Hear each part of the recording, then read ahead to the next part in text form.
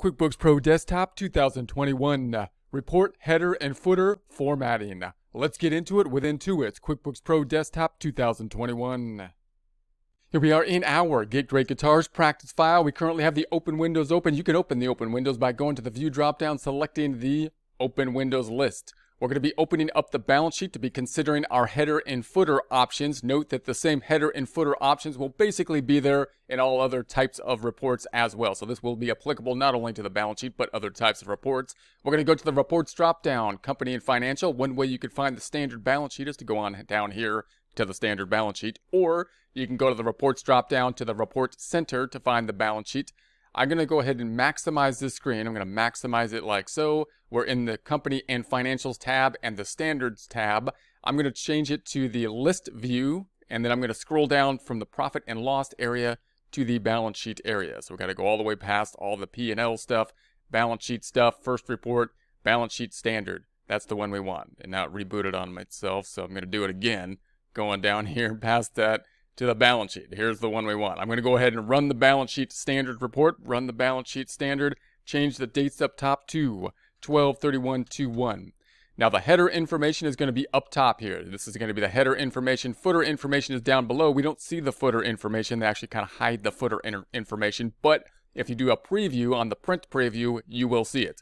So if we went, for example, to print up top and print reports, and then went into this little preview uh, scene or, or display, then we're going to see the, the footers, if there are any, down below on the bottom of the page. The footer we have at this point being the page number. So we have the page numbers numbered. I'm going to close this back out. I'm going to close this back out and close out the preview or the print options. Then I'm going to go into customize reports. Customize reports, we're focusing in on the headers and the footers. So I'm going to kind of underline the header and footer option up top as we look through them. So I'm, I'm going to do these, all these options in a second. Let's first look at the right where we just basically have the layout of the header and footer. They'll give you kind of a breakdown up top. Let's just test these out first. I'm going to go, okay, what if we did the left lineup? That's how it's going to line up this way. If you were to actually say, okay, you can kind of see it this way. There it is lined up in that format. Customize reports, header and footer. Let's try the right lineup. It's going to switch those two. It gives you a display here, but it's easier to see to just say, okay, there's that lineup.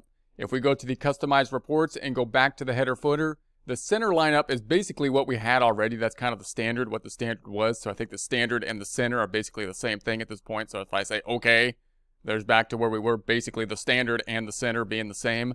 Customized reports, back to the header and footer. I'm going to change it back to uh, the standard. Usually the standard's pretty good in terms of the header. Then we have the line items that we can change if we so choose. So the company name to change the company name, we can do that here. So the company name Get Great Guitars. If we wanted to put a more formal name or something like that, if it was incorporated, uh, you know, we could put company. If we wanted to make it like a, a, report that doesn't have a name, we could delete it or remove the company name, for example, if we want like a generic report. And if we were to say OK, then it's going to remove the company name. So I'm going to go back to customize reports, go back to the header and footer. Let's turn it back on. So there's our company name. The, the name of the report's the balance sheet. Now we open the balance sheet report. That's a pretty standard name, unlike kind of like the profit and loss, which we may want to change on the income statement side to the income statement if we prefer that name. Balance sheet's pretty standard, but you might want to change it when we start to customize reports. We can customize the report and make this like a comparative report or make some kind of modified custom report. And then if we made it a comparative report, if we did the modification, which we'll see in a future presentation, we could change it so we can say it's a comparative balance sheet, for example, and that could be a useful term, uh, item to change in comparative. I'm not sure I spelled that right, but I'm gonna, it doesn't matter for our example here. There's the comparative. Then we're gonna customize the report again. I'm gonna go back to the header and footer, gonna change it back to the balance sheet. Uh, that obviously can can be useful to be able to change that for multiple different reports that you that you might adjust and then want to basically rename according to that adjustment. Then after adjusting, you can memorize that report with the saved name so that you can distinguish the reports that you will be looking into. Now, the, then the uh, subtitle, subtitle typically being uh, the date here. Now, again, this could be another kind of situation where that might change if you if you basically change the terms of the report. So you might have months, for example, instead of just the total. For example, I might say, let's remove this title because it shouldn't be as of December 31st if I modify the report for example, if I was to customize the dates and then say this is going to be from 010121 to 123121 and then change it from totals to uh, months like so, now I've got a different report and it wouldn't make sense for me to just to say for the year ended because now I've got for each month ended report and I'd have to think up a, a better name, which I don't feel like doing right now, but just to tell you that, you know, we'd name it some something other than as the year ended. Now go back to the total. I'm going to go back to the customized reports and we're going to go to the header and footer. Let's turn that back on. So this is the standard balance sheet where we would basically have those items in place then these three items oftentimes maybe you not you might not want those. I mean, those might be helpful to kind of show somebody your supervisor or your your customer when you made the report. But it, but other than that, it just seems like added information that's not really relevant to the actual report itself. So oftentimes, and we will be doing this oftentimes, just turning these three things off, removing those three items on the side, and if we say okay, then it would just simply remove those items. I think that's I mean, to me, that would be like the default. I'm not sure why exactly you, I mean, most of the time I would not want that on there if I'm going to give this to somebody else outside. I don't want them to see that I'm working at two in the morning or something like that, possibly. But, and then we got the print the header on pages uh, after the first page. So that means that this header that's going to be up top, if it runs more than one page long, will still be there. So you can see that on the page layout. So if I said OK, and I went to the print item, and I said, I want to print the report and I want to take a look at the preview of the report. We see the header up top and on page two, we see the header on top page two. If I don't need the header on page two, because I, because I mean, you, you know it's the same report because it's like stapled together or on the same PDF file, then you can go to customize report, header and footer, remove that and say, okay.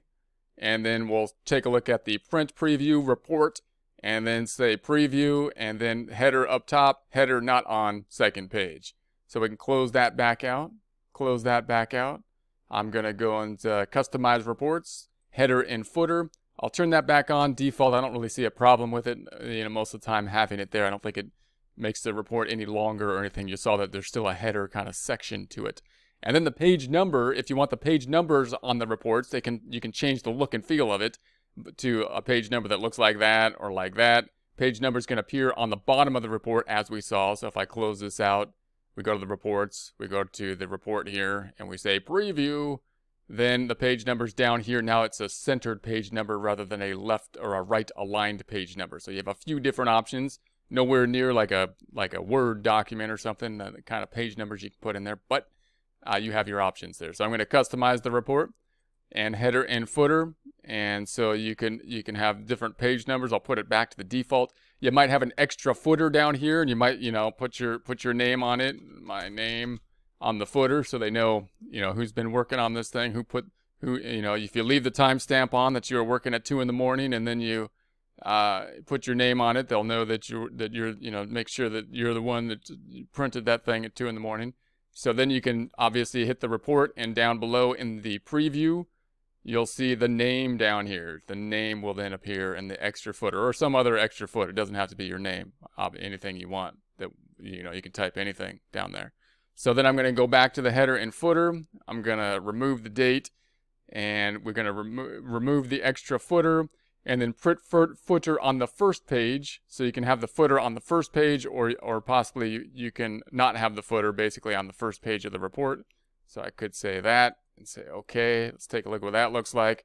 Print the report, report layout, preview it, no footer on the first page, footer on the second page. So we only want the foot, we like at the foot of the foot of the um, financial, not on the bottom of the foot of the first page, but the foot of the full financial.